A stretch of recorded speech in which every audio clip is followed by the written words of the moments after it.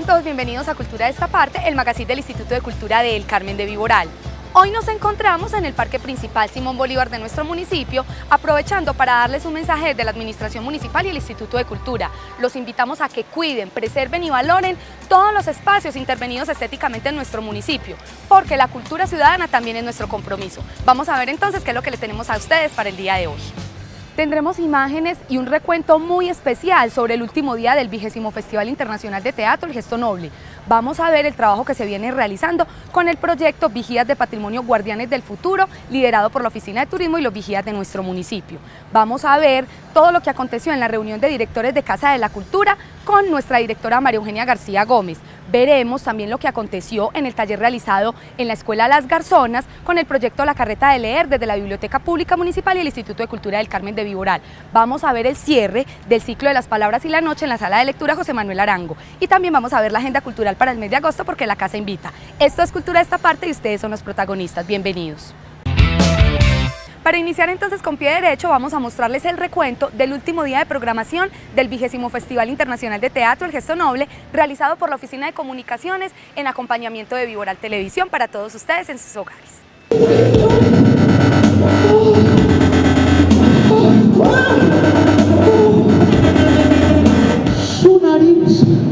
Cereza tierna y Pinocho es esta dócil. ¿Qué Pinocho quieres, chica? Tú. ¿Qué Pinocho quieres darle a. Pinocho? ¿Cuál es la nueva? ¿Quieres esta? Ah, muy bien. Entonces, dale una oportunidad a Pinocho. ¿No quieres robarlo? Entonces, ¿cómo vas a pagar?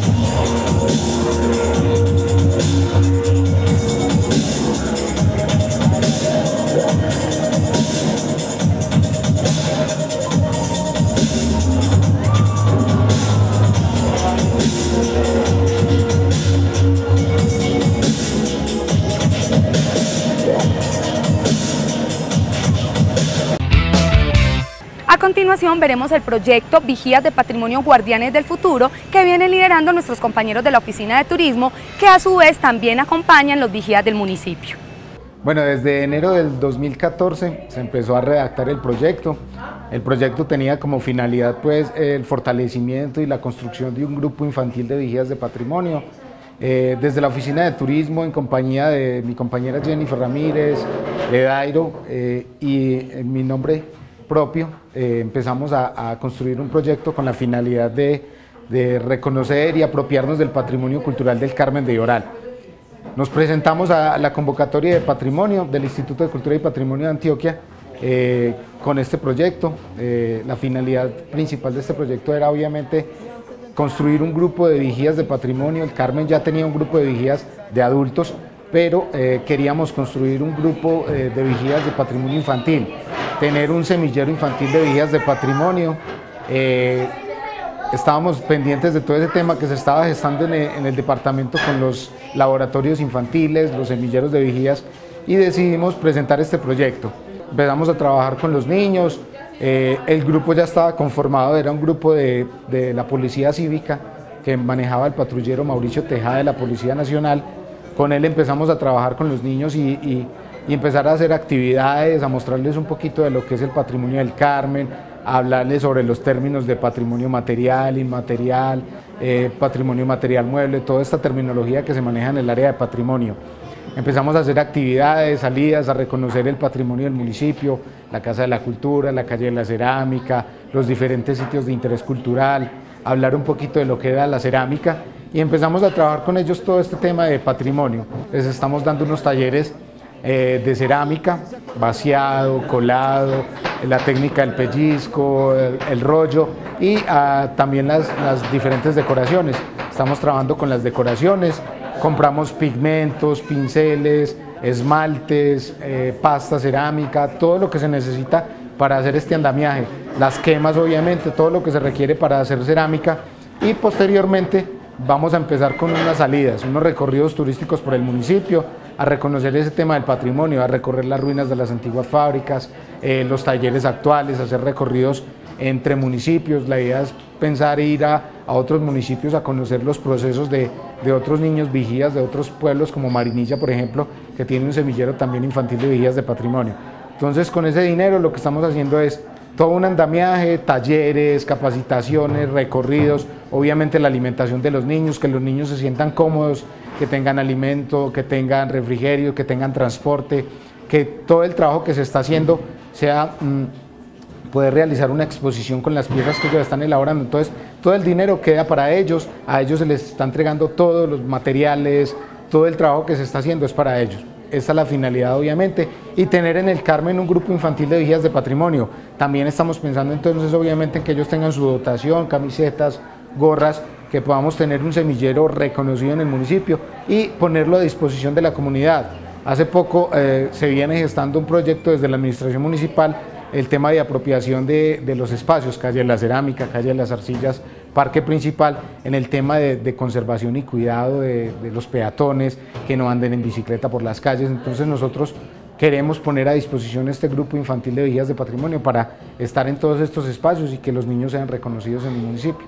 Hoy he aprendido a amasar y lo de el entorno con la profesora Elena. Desde, lo, desde donde estamos aprendiendo de vigías, hoy hemos aprendido de patrimonio cultural, eh, a, hacer tazas, platos, que aprendemos muchas cosas de cerámica y que nos nos enseñan muchas cosas. Conformar un semillero de vigías de patrimonio es generar en esas pequeñas cabezas que hoy se están formando una conciencia de la importancia que es un municipio, la importancia de que es la cerámica, que es la cultura, que es la tradición yo creo que a corto plazo podemos ser esos guardianes del patrimonio cultural que hoy se ha conformado en el Carmen de Viboral. Y a un plazo de pronto más alto vamos a tener profesionales que van a ser sensibles al arte, que van a ser sensibles al patrimonio y van a ser muy seguramente esos grandes profesionales que van a permitir que hoy eh, el Carmen de Viboral tenga esas características y que en un futuro se sigan proyectando y que no pase como están pasando en muchos territorios, que es el detrimento del patrimonio, que es la poca conciencia y el poco reconocimiento de lo que es el Carmen de Viboral o cada municipio en particular. La dirección del Instituto de Cultura en cabeza de María Eugenia García Gómez lideró el encuentro de directores de casas de la cultura de la región del Oriente Antioqueño. Veamos qué aconteció en esta reunión que va en pro del beneficio de la cultura de todo el Oriente. Bueno, nosotros desde el Instituto de Cultura venimos adelantando una estrategia que, que busca y permite cómo tener una mirada global desde el contexto local. Eh, desde el mismo plan de cultura que venimos formulando eh, cuando pensamos el Carmen de Viboral como un territorio para el buen vivir, pensamos en que la cultura como un eje transversal, pero como un eje transversal también en esa mirada del contexto a nivel nacional e internacional. Y venimos planteando una estrategia de internacionalización y de hecho ya hay acciones puntuales y hemos visto algunos resultados que más, más adelante hablaremos de ello. ¿A qué apuesta le queremos, queremos hacer? A una apuesta territorial, no solamente la mirada local, sino cuáles son los municipios afines, de qué manera estamos trabajando y cómo podemos unirnos para poder plantear unas políticas públicas de internacionalización. Entonces, ¿qué es lo que pretendemos? Que el día de hoy quede un documento eh, o los lineamientos de un documento que le permita un accionar al municipio. Si bien sabemos que estamos terminando ya un plan de desarrollo y un plan de gobierno, eh, está terminando un cuatrenio, pero entonces también es cómo poder dejar unas líneas de base para poder de que esa mirada de cultura sea desde lo global. Uno tiene que tener una mirada retrospectiva y prospectiva. ¿Qué se hizo y qué se puede hacer? Y también evaluarse. Si nosotros estamos aplicando y queremos apuntarle a un modelo, qué bueno mirar a ver cómo, cómo lo están aplicando en los otros municipios y poder construir un modelo de desarrollo desde lo cultural y que sea en estos momentos el Carmen quien venga liderando la estrategia. Yo pienso que es un punto a nuestro favor porque facilita mm, un intercambio, un acercamiento, una formación y que expertos se acerquen al municipio a ayudarnos a pulir esta propuesta de desarrollo. Gracias al Programa Nacional de Concertación Cultural del Ministerio de Cultura, se viene ejecutando el proyecto La Carreta de Leer con la Biblioteca Pública Municipal y el Instituto de Cultura del Carmen de Viboral. Veamos entonces qué aconteció en la vereda Las Garzonas en su escuela con todos los niños y el taller dictado por Javier Naranjo. Este es un proyecto, es una propuesta de la Biblioteca Pública Municipal y del Ministerio de Cultura. Se unieron para hacer este proyecto que hoy vamos a trabajar aquí. La vez pasada estuve en Cristo Rey, y hoy vamos a estar un par de horitas. Depende de ustedes de que la pasemos, yo estoy por aquí. Depende de ustedes de que la pasemos bien. Porque la idea es esa, que nos amañemos, que lo disfrutemos. De entrada les digo, no va a haber tareas, no va a haber calificaciones, no va a haber gritos, no me gusta funcionar así, sino que vamos a conversar Ustedes, es un taller donde ustedes también van a conversar mucho y van a escribir. Eh, a los que no les gusta mucho escribir, quiero decirles que para nosotros, los que estamos haciendo este proyecto, es muy importante lo que ustedes escriben y dicen. O sea, la escritura para nosotros, de lo de ustedes, es una joya, así como suena. Es muy importante porque lo que digan ustedes a nosotros nos interesa muchísimo. Así que a la hora de escribir, yo ahora les digo que vamos a escribir, a la hora de escribir no digan, ay, qué pereza, no, anímense, porque además va a ser escritura que sale desde el corazón, o sea, que venga desde adentro de ustedes. No es una tarea que le ponen a uno y que uno averigua por ahí. Les voy a preguntar por cosas de adentro de ustedes. Eh, padre es un señor que quiere un hijo. Y Padre es una persona muy especial porque nos tuvo en su corazón cuando nos tenían en el vientre. Miren qué bonito este. Padre es una persona muy especial porque nos tuvo en su corazón cuando nos tenían en el vientre. Es bonito eso. Es de una niña de nueve años. Así que cuando yo empecé a ver estas cosas, yo dije, los niños, ustedes tienen una sabiduría que a mí me interesa y a muchos les interesa escuchar. ¿Qué van a hacer con esas palabras? Ustedes van a hacer de cuenta que yo soy un extraterrestre, que vengo de otro, por allá de otro planeta, muy lejos, y llegué a la Tierra y escuché aquí en el Carmen de Viboral esas tres palabras.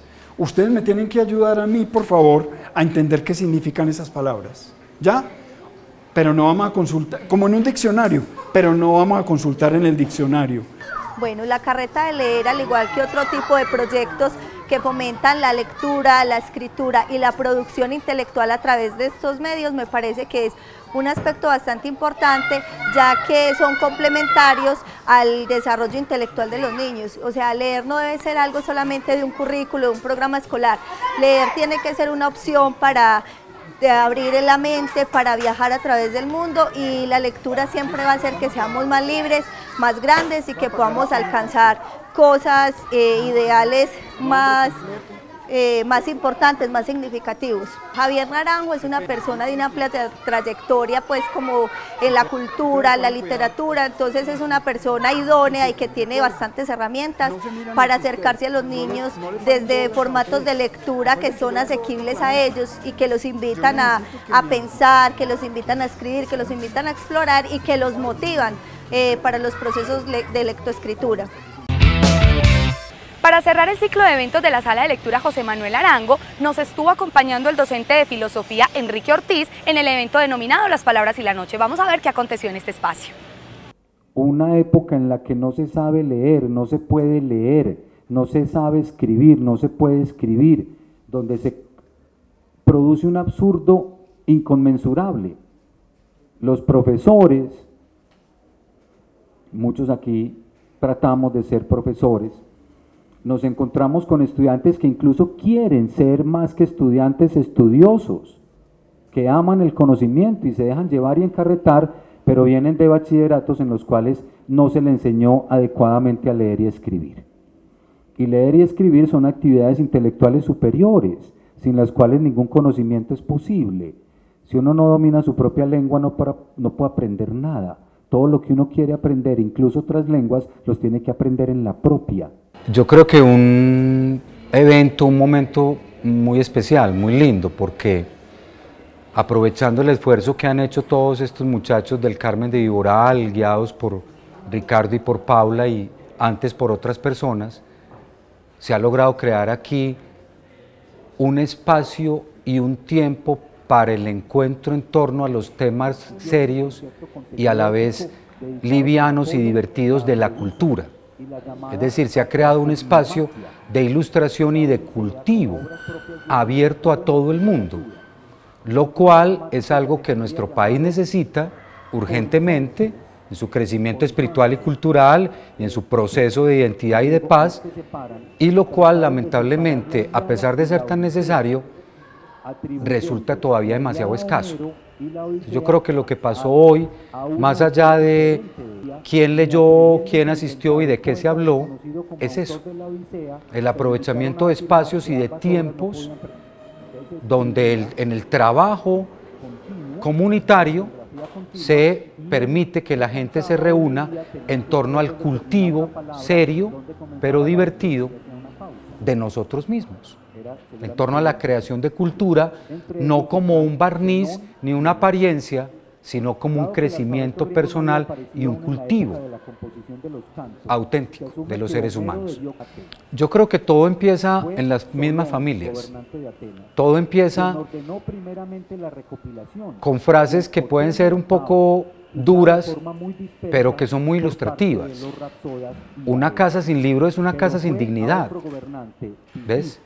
No podemos pensar que simplemente Internet reemplaza la existencia de los libros.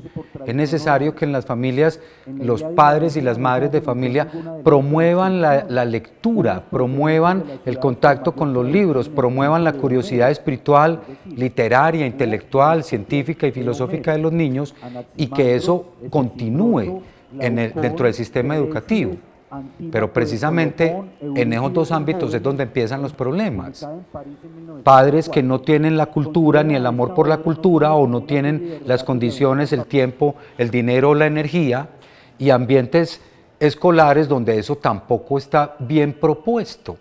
He dicho insistentemente a mis alumnos cosas que pueden parecer ofensivas Uno estudia un pregrado en filosofía para averiguar si puede estudiar filosofía.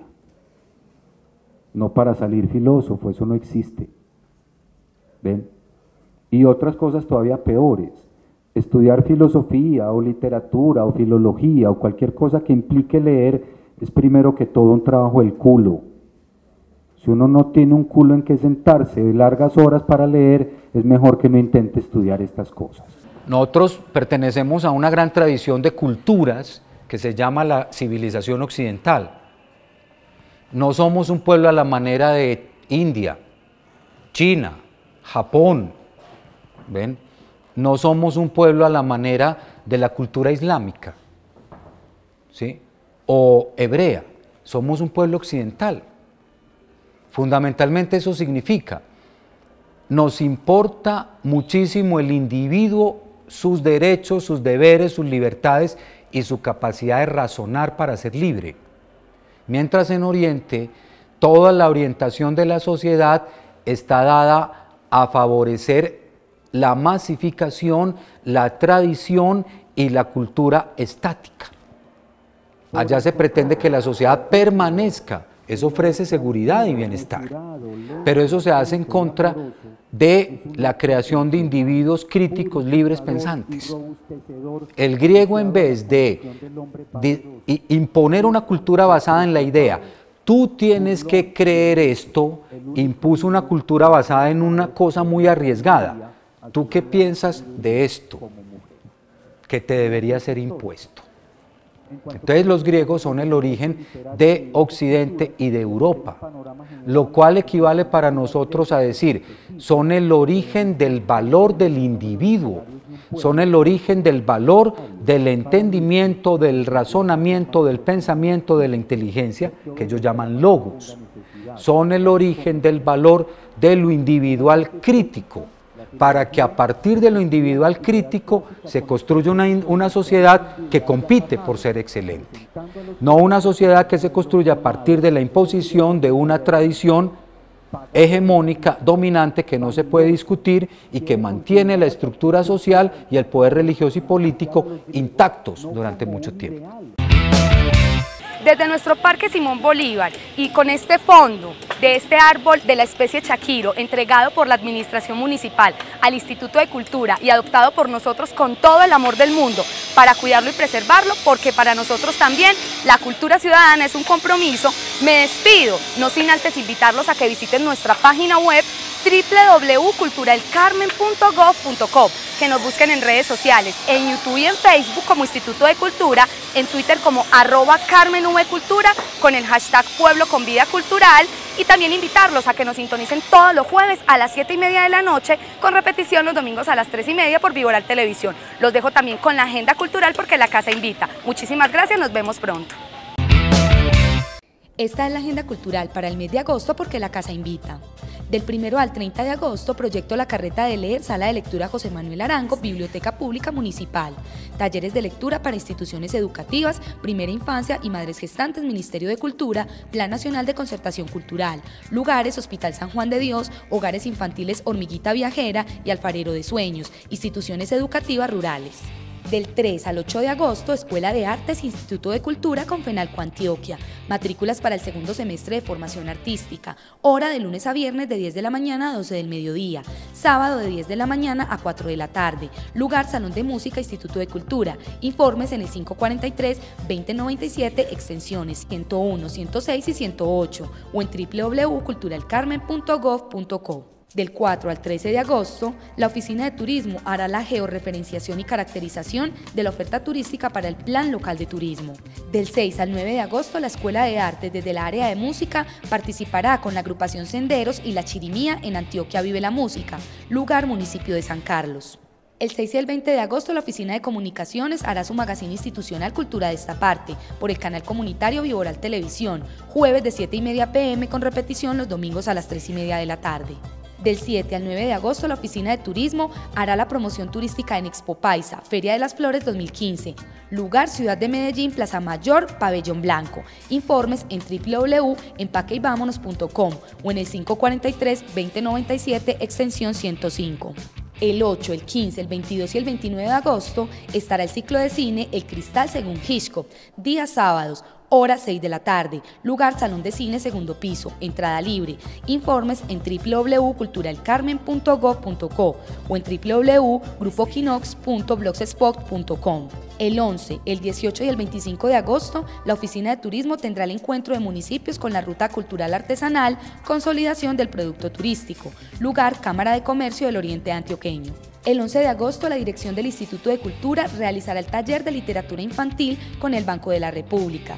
Tallerista Javier Naranjo, hora 10 de la mañana. Informes en el 543-2097, extensión 101 y 108. El 11 de agosto, la Oficina de Turismo realizará el recorrido de la Ruta de la Cerámica con el programa Edad de Oro, Adultos Mayores, Caja de Compensación con Subsidio, Ciudad de Bogotá. El 14, 15 y 16 de agosto, la Escuela de Artes con su área de música participará con la estudiantina y la banda Escuela de Música en Antioquia Vive la Música, lugar municipio El Retiro. El 24 de agosto, Alcaldía con Todos y Proyecto Camino de la Vereda. Intervención Cultural y Artística, Ministerio de Cultura, Programa Nacional de Concertación Cultural. Alcaldía Municipal, Vereda Vallejuelito. El 26 de agosto, el programa de cine y literatura los invita al ciclo de cine con el Cine Club Nanuc de la Universidad de Antioquia. Hora 5 pm, lugar Salón de Cine, segundo piso, Instituto de Cultura, entrada libre. El 27 de agosto, el Instituto de Cultura y el Grupo Quinox los invita al lanzamiento del décimo foro anual de Filosofía Estoa, hora 7 pm, lugar Sala de Teatro Tespis, entrada libre. El 27 de agosto, la Oficina de Turismo estará en el Encuentro Regional de Líderes de Turismo. El 28 de agosto, el programa de cine y literatura los invita al ciclo de cine con el Cine Club Universitario de la Universidad de Antioquia.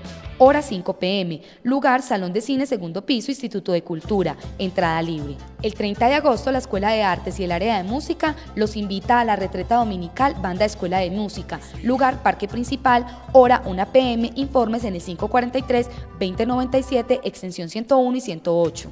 Todos los sábados y domingos del mes de agosto, la Oficina de Turismo tiene abierto al público el punto de información y visitas guiadas al Museo de la Cerámica, hora de 9 de la mañana a 5 y 30 pm, lugar Calle de la Cerámica, Instituto de Cultura. Informes en el 543-2097, extensión 105 o en www.culturalcarmen.gov.co. Todos los sábados del mes de agosto, la Oficina de Turismo realizará las charlas con el grupo infantil Vigías del Patrimonio Guardianes del Futuro, hora 10 de la mañana. Los viernes y sábados del mes de agosto, la sala de teatro Tespis tiene actividad cultural permanente. Hora 7 y 30 pm, entrada general 7000. Mayores informes en www.teatrotespis.org o en el teléfono 566-7703.